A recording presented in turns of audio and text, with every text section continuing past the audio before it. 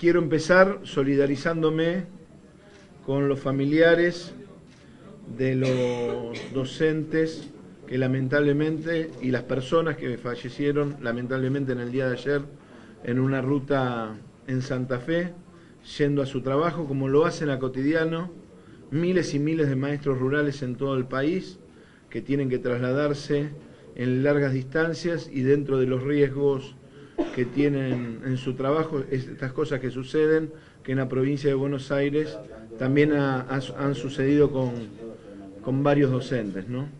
Eh, la segunda cuestión que queremos plantear es la situación del conflicto en la provincia de Buenos Aires.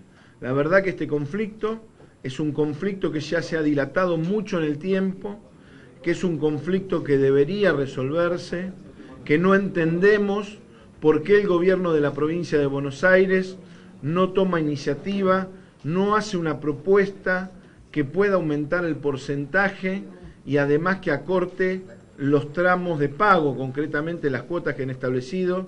Les digo claramente, el aumento que ha dado la provincia de Buenos Aires a los docentes no es del 22,6%.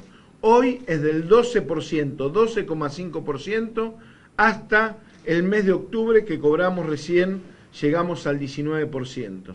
Entonces es un aumento de un poco más de 300 pesos, inclusive por debajo del aumento que se otorgó en la paritaria nacional. Vamos a esperar durante el transcurso de todo el día una convocatoria del gobierno, una señal que diga que van a hacer una propuesta para poder superar este conflicto.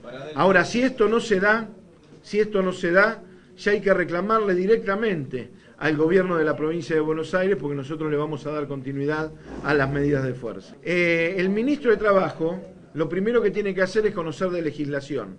Y si se remite a la ley de paritaria docente, no prevé un mecanismo de cierre unilateral. La paritaria se, se cierra por acuerdo, si no queda abierta. Si no hay acuerdo de parte, la paritaria está abierta. Por más que el ministro diga que la paritaria está cerrada, la paritaria está abierta porque no hubo acuerdo de partes. Es eh, como intentar desconocer la realidad.